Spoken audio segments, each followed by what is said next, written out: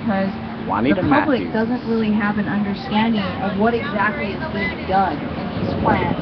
And I think that, you know, I don't know if anybody recently uh, saw that there was a letter to the editor by the uh, president of Syngenta, and he wrote, and he, basically wrote and said that all the people that were against uh, GMOs whole were ignorant and didn't have any scientific evidence to back up, you know, these that we're, trying to.